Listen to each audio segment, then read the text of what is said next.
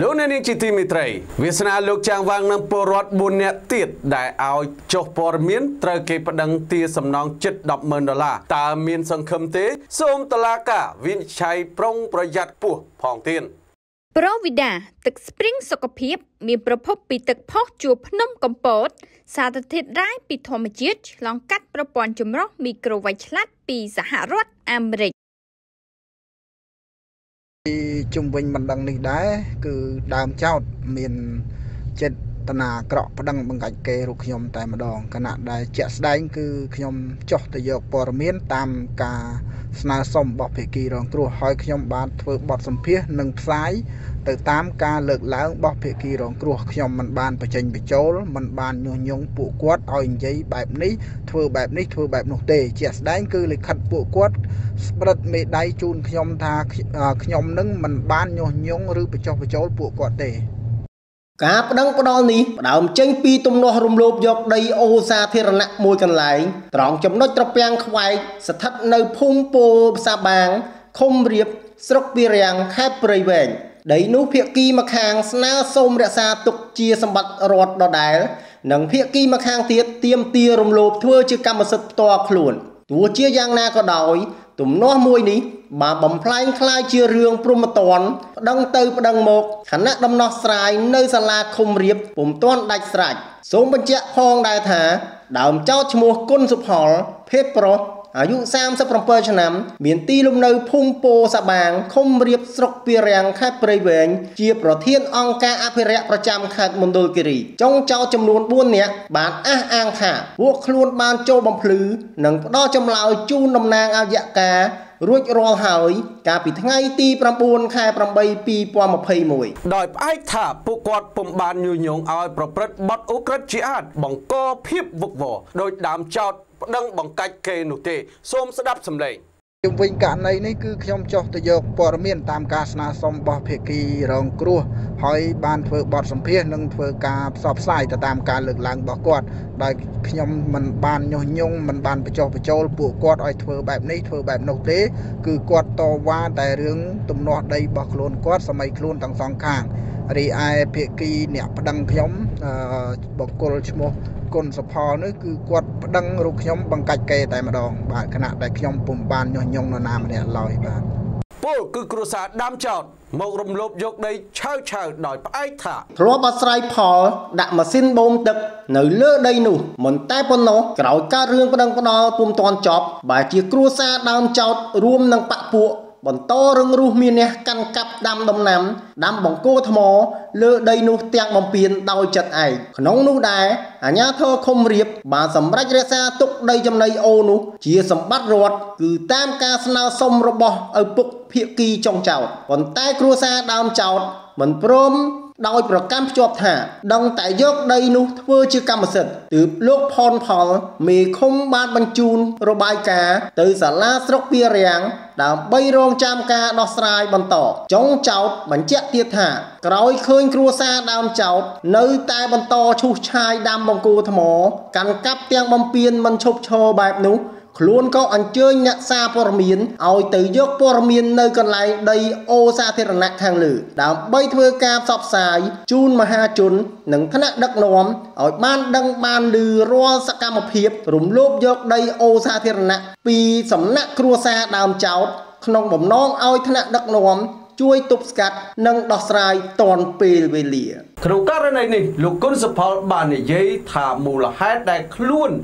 ដឹងលោកច័ន្ទថនទៅតឡាកាក៏ព្រោះតែខឹងនឹងអ្នកសារព័ត៌មានផ្សាយរឿងទំនាស់ដីធ្លី ជាច្រើនដងសូមស្ដាប់សម្លេងលោកគុណសុផលទោះអាមិនដឹងដែលខ្ញុំប្តឹងទៅបងថនខាងសារព័ត៌មានហើយនឹងប្រជាពលរដ្ឋ4 4 4អ្នកទៀតនឹងយ៉ាងម៉េចដែរបងរឿងហ្នឹងវាចេះ ដំបូងមកខ្ញុំអត់ត្រូវប្តឹងបងប្អូននឹងទេប៉ុន្តែដោយសារអីអឺ ដីរបស់ខ្ញុំហ្នឹងគឺដីដីម្ដាយរបស់ខ្ញុំប៉ុន្តែក្នុងកោមការគ្រប់គ្រងរបស់ខ្ញុំអញ្ចឹងគឺគាត់ចាស់ហើយបងគាត់អាស្រ័យផលតាំងពីឆ្នាំ1987ខ្ញុំមានឆ្នាំមេដៃមានមេឃុំមេភូមិគាត់ដឹងលឺទាំងអស់ហើយគាត់ក៏អាស្រ័យផលរហូតមកមកដល់អាអាឆ្នាំទៅឆ្នាំទៅមួយនេះម្ដាយខ្ញុំគាត់ឈឺដល់ពេលឈឺអញ្ចឹងបងខ្ញុំហ្នឹងគាត់ផ្អាកធ្វើដីហ្នឹងរយៈពេលមួយឆ្នាំជាងដល់ពេលមួយឆ្នាំហ្នឹងគាត់ចាប់ដើមធ្វើវិញស្រាប់តែមានបុគ្គល 3 4នាក់ហ្នឹងទៅទាំងអត់ឲ្យគាត់ធ្វើពីអញ្ចឹងខ្ញុំប្តឹងមកភូមិមកឃុំមកភូមិមកឃុំហ្នឹងណាបងដើម្បីឲ្យគាត់អន្តរាគមរឿងមិនអីមិនអញ្ចឹងខ្ញុំនេះឲ្យចន្ទអឺ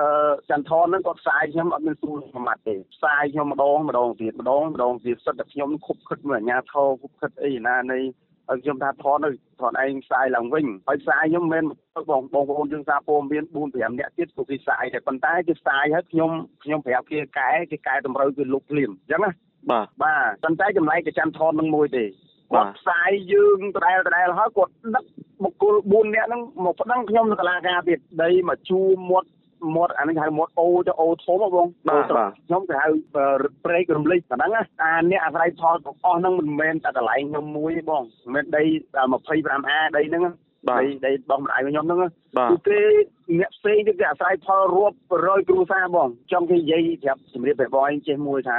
អាញាធរមូលដ្ឋានទាំងមេភូមិមេឃុំនិងអឺអឺសូយ៉ាដីគេអត់ធ្វើប្លង់ឲ្យយើងទេឲ្យតែជាប់ចំណីអូចំណីផ្លូវបាទត្រឹមត្រូវបងត្រឹមត្រូវបងប៉ុន្តែប្រជាពលរដ្ឋណាធ្លាប់អាស្រ័យផលគឺអាស្រ័យផលទៅបាទថ្ងៃណាដែលរាជរដ្ឋាភិបាលគាត់ចេញព្រះរាជក្រឹត្យឬក៏អឺ រាជក្រឹត្យចេញមកដកហូតយ៉ាងម៉េចម៉េចយកទៅដីនឹងទៅប្រើប្រាស់អីមួយសម្រាប់អឺបុគ្គលរួមគឺដកទាំងអស់គ្នាមិនមែនដកតែកន្លែងខ្ញុំមួយទេបាទខ្ញុំមានដឹងជាកម្មសិទ្ធិណាបុកម្មសិទ្ធិអឺគេចេញឆ្លងឲ្យបាត់ហើយអឺខ្ញុំប្រឹងវិជាពលរដ្ឋ4នាក់ដោយសារអីគាត់ធ្វើឲ្យប៉ះពាល់សេចក្តីថ្លៃថ្នូររបស់ខ្ញុំគាត់សុកសុកហើយហើយទី1ទី2គាត់ធ្វើឲ្យខូចខាតអឺទ្រព្យសម្បត្តិសាធារណៈរបស់ខ្ញុំ ដែលគាត់ឲ្យគាត់ទៅហាមឃាត់មិនឲ្យយើងអាស្រ័យផលខាតពេលវេលាយើងអឺរស់ស៊ីដាំដុះហ៎បង បាទហើយគាត់មានសិទ្ធិអីយករូបយើងទៅកុហកពីវាពីកាលដែលមិនបានឆ្លងយើងមកបន្តិចសោះហើយគាត់ទៅវាយបហាថ្នាក់ដឹកនាំសិតតែខ្ញុំខុបខិតសិតតែខ្ញុំខ្សែរយៈអីណាព្រីញ្ញាព្រីវែងឯណាដែលគាត់ដឹងដឹងស្អីខណៈកណ្ដងគាត់ដឹងទេអានេះរឿងបុគ្គលឯបុគ្គលតែចម្លែកកដើមរាំងមួយនឹងទេលោកច័ន្ទថននឹងផ្សាយខ្ញុំដដែលហើយដដែលទៀតដដែលដដែលទៀតដំបងគាត់ផ្សាយខ្ញុំ ពីសម្ពោហើយបានខ្ញុំទេមកខ្ញុំទេពីពីពីមណ្ឌលគិរីមកបាទបាទផ្សាយខ្ញុំពីសម្ពោខ្ញុំខ្ញុំទេមកខ្ញុំថាច័ន្ទថនមែនលោកខ្ញុំឃើញនៅក្នុងអធិគេដាក់ឈ្មោះអញ្ចឹងណាបាទថាបាទបងបាទអឺចន្ទថនចន្ទថនឯងផ្សាយអញ្ចឹងហោហើយការពិតដីនេះខ្ញុំមិនបានទៅខុបខិតជាមួយអាជ្ញាធរទេហើយទូខ្ញុំមិនបានទៅ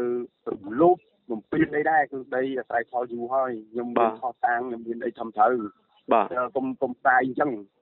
បងកុំផ្សាយអញ្ចឹងផ្សាយល្អឡើងវិញហើយចាំមើល2ថ្ងៃទៀតខ្ញុំឡើងមកព្រីវែងខ្ញុំខ្ញុំយកឯកសារហ្នឹងមកឲ្យចន្ទថនឯងទាំងអស់ដើម្បីអឺផ្សាយកែលម្អឡើងវិញអញ្ចឹងណាបងខ្ញុំឲ្យឲ្យគាត់កំភ្លឺហ្នឹងគាត់អត់មានដែនភ្លឺទេអត់កំភ្លឺហ្មងសារព័ត៌មានមួយផ្សាយបីយើងបីត្រែត្រែត្រែត្រែត្រែហ្មងរីឯលោកច័ន្ទថនចាងវាងដើមរាំងពេលចុះទៅយកព័ត៌មាន គឺទៅតាមការស្នើសុំរបស់ភិក្ខីរងគ្រោះមានទាំងលិខិតស្នាមមេដៃទៀតផង ហើយក៏គ្មានការសុំបំភ្លឺដល់សារព័ត៌មានដើមរាំងនោះដែរពលគឺគាត់ច្រឡំទៅសារព័ត៌មានដើមឫស្សីទេ សូមស្ដាប់សម្លេងលោកចាងវាងដើមរាំង បាទហើយមួយវិញទៀតជុំវិញករណីដែលលោកគុណសុផលថាបានស្នើមកឲ្យដើមរាំងធ្វើការបកស្រាយបំភ្លឺនេះគឺមិនមែនជាការពិតទេ